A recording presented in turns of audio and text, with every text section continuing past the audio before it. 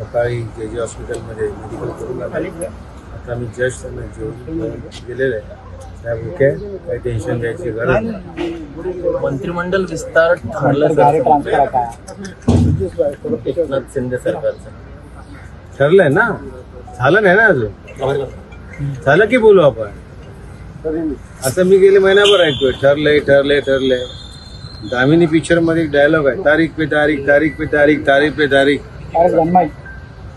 मंत्रिमंडळ अभी तक बनता नहीं सर दुसरा एक प्रश्न आहे की मैत्री दिनाच्या दिवशी शिंदे गटातील सहाजी पाटील शंभूराज देसाई आणि उदय सामंत यांनी असं इच्छा व्यक्त केली आहे की यांनी अं, उद्धव ठाकरे आणि शिंदे एकत्र यावं दोघांनी.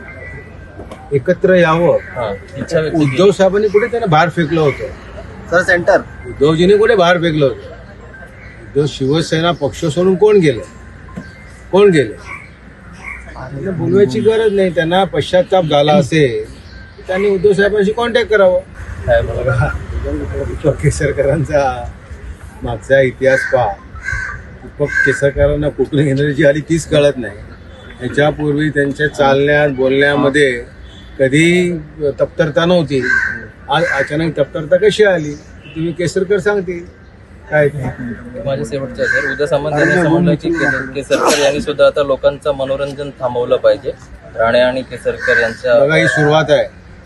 ही सुरुवात आहे. पहा निकाल काय दिल्लीवरून येतोय ते पहा.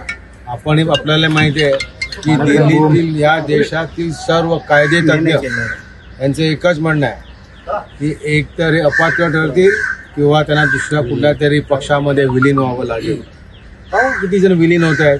काय एक लक्षात ठेवा शेवटी हा पक्ष शिवसेना प्रमुख बाळासाहेब ठाकरे यांचा पक्ष आहे.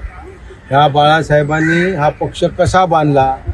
कशा किती कष्ट करून बांधला. शेवटी ज्याने ज्याने हा पक्ष सोडला हा इतिहास आहे. प्रत्येकाला बाळासाहेबांची हाय लागलेली आहे. आणि आज तुम्ही पाहाल तर अख्ख्या महाराष्ट्रामध्ये ज्या महिला वर्ग आहे ज्या प्रकारे माननीय उद्धव साहेबांना वर्षावरून खाली निघताना प्रत्येक महाराष्ट्रातल्या महिलांच्या डोळ्यात अश्रू होते. ते अश्रू म्हणजे काय? हे अश्रू म्हणजे ज्या चाळीस जणांना लागलेलं तळतळाट आणि हाय आहे ले जाया गया। क्या था रेगुलर मेडिकल चेकअप क्या देखो एक कानून ऐसा है चलो थोड़ा। कि जो भी जे, जे, जो पुलिस कस्टडी में होते हैं उनकी 48 आवर्स में उनकी मेडिकल करना ज़रूरी होता है। वो हिसाब से आज उनको जे जे हॉस्पिटल में मेडिकल के लिए लेके गए थे। कोई प्रॉब्लम नहीं। साहब ओके है तंदुरुस्त है मज़बूत है डोंट वरी सर केस की अगर बात करें तो क्या परिवार में किसी और लोगों को देखो देखो आप सोचते हैं देखो केस में कोई दम नहीं। आप भी जानते हो आप मुंबई में रहते हो। मुंबई में एक एक के पास क्या क्या प्रॉपर्टी बना के रखे आपको आप भी आपको पता है। लेकिन इस मुंबई में जिसका जन्म महाराष्ट्र में हुआ है मुंबई में हुआ है हम मराठी आदमी है तो मराठी आदमी ने धंधा करना नहीं चाहिए बिज़नेस नहीं करना चाहिए। क्या प्रॉपर्टी मिली? ज़बरदस्ती से सब प्रॉपर्टी एक फ्रेम बना के रखा है उन्होंने। ये प्रॉपर्टी इसको लिंक लगा रहे पत्राचार से। लेकिन संजय राउत बाला साहब का निष्ठावंत सैनिक है, जिन्होंने बाला साहब के साथ तीस से बत्तीस साल से काम किया है। जो बाला साहब को चाहिए, वही संजय राउत करते हैं। तो आप कोई ऐसी चिंता मत करो कि संजय राउत ने कोई भ्रष्टाचार किया है। संजय राउत भ्रष्टाचार कर नहीं सकता। लेकिन ऐसा है कि आप देखते हो पहले दो अढ़ाई साल में। कि आज दो अढ़ाई साल में संजय राउत जिस प्रकार के भाजपा के विरोध में मुहिम चालू की है भाजपा संजय राउत से डरती है इसलिए उनको ईडी में अटकाना चाहती है। सर परिवार में और लोगों को समन किया है क्या? ईडी ने देखो कल भाभी को समन्स आया था भाभी ने जवाब दे दिया।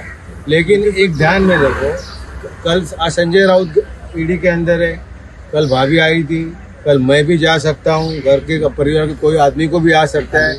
लेकिन आप एक कंफर्म सोच लो कि कितने भी हम पे, हमारे फैमिली पे अन्याय हो, हम शिवसेना नहीं छोड़ेंगे।